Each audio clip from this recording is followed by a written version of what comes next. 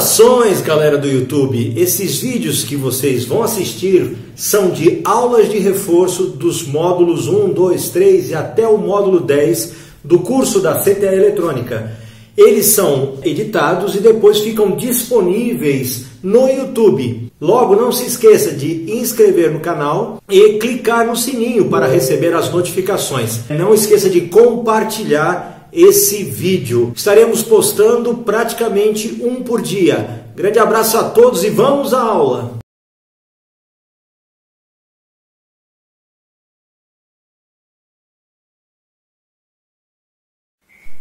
Então vamos lá, M1 45 31 tá aqui.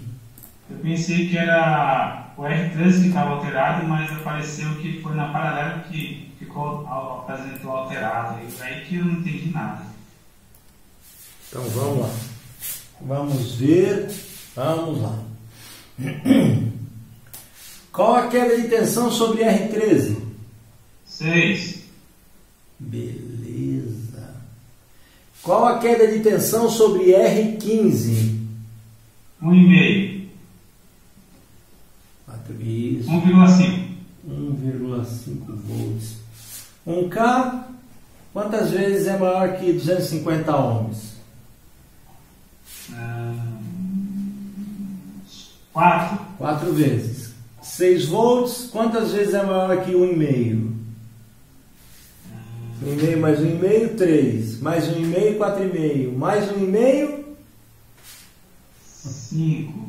Não, 6. Deu 4 vezes. 4 vezes, isso. Então, beleza. Esses resistores, o valor e as tensões estão proporcionais, ok?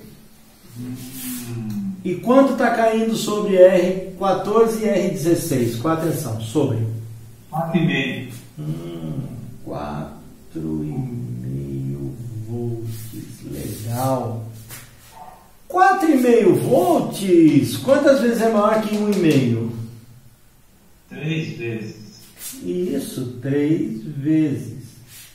Então, olha só, se aqui é três vezes mais tensão que essa, e nós temos um valor aqui de 250 ohms, vezes 3 dá quanto de resistência ômica? Dá hum?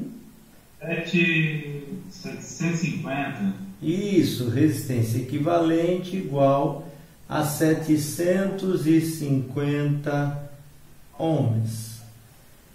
E aí vem a pergunta, né? Quem está alterado? É o R14 ou o R16? Ah, o 14. Isso, o R14 tem que alterar para que, ficando em paralelo com o K, a resistência dessa daqui. Se fosse, se fosse o R16 alterado, a minha menor resistência seria 330 ohms. Então, é o R14 realmente que alterou. Maravilha? Então vamos ver aqui, ó. Até aí tudo bem? É, eu fiquei, mas eu fiquei pasmo agora. Por quê? Hum. Ah, porque eu fiz o paralelo, deu entre 1K e 330 deu 250. Não, não, mas você não, não tem que fazer o paralelo, você tem que partir para quanto tem ah. de queda de tensão. Pela tensão. É, o paralelo, isso aqui dá 250 mesmo, se estivessem bons, né? Se estivesse bom. Se estivesse bom. Então veja só, eu tenho o R16 que está bom, mas o R14 que alterou, eu não sei o valor. O que está lá em paralelo, que é o R14, já não sei o valor. Beleza? Beleza. Eu sei que ele alterou para mais de um K, porque a resistência equivalente é 750. Mas eu sei que a resistência equivalente entre os dois é de 750 ohms. Certo? Certo? Quantas vezes um K, que tá bom, é maior que 750 ohms? Hum, duas vezes duas vezes, esse aqui é a nossa referência, é o menor, um x. É o menor. Para chegar, Hã? Ah, sim, para chegar a mil. Para chegar a mil. Então, é. Falta Duas vai, 250. duas vai dar, duas vai dar 1.500. Hum. Ah, menos que. É, um, 1,1. 1,1. 1. 1,1. Vamos ver aqui, ó. Quanto falta para chegar em 1K? 750 para chegar em 1K. Tá faltando quanto? 300. Não, 200. 250. Isso. Sabe me dizer 250 para 750 quantos são? É, três vezes. Isso, isso aqui é três vezes. Olha só, menor do que esse aqui.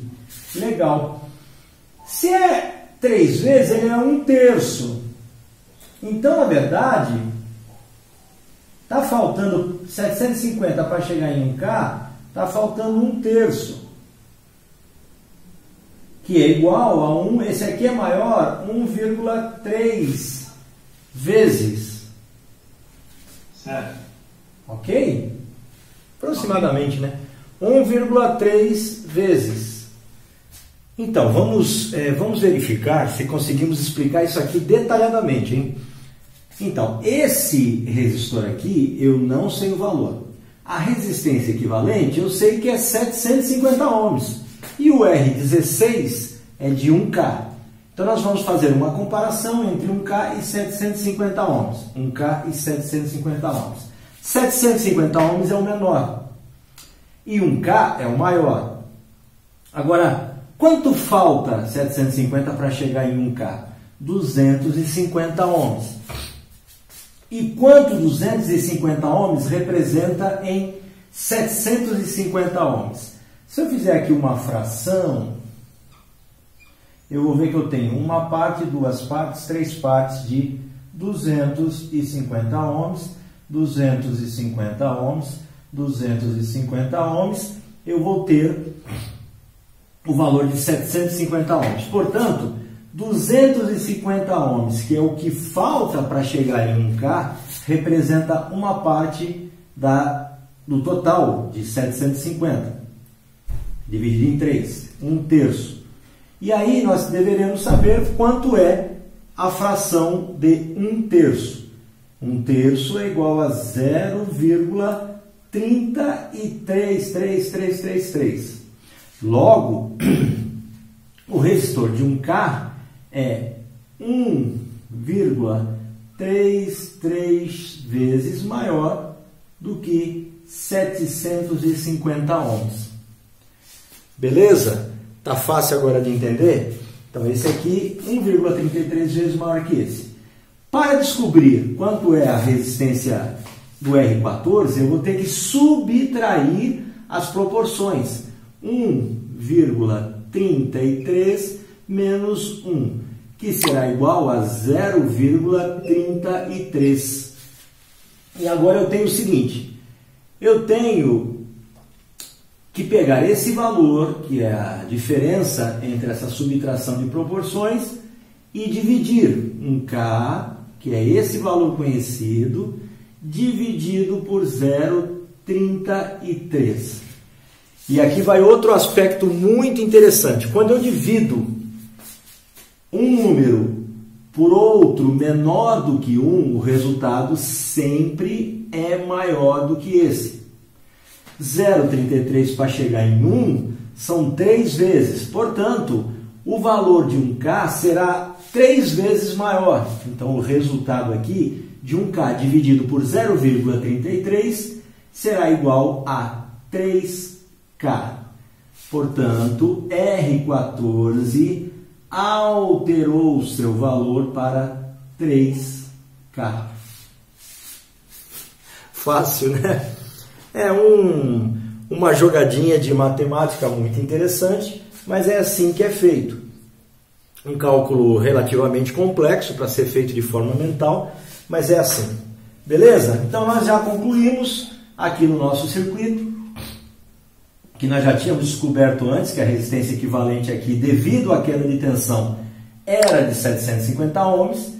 e descobrimos que esse resistor de 330 ohms alterou para 3K.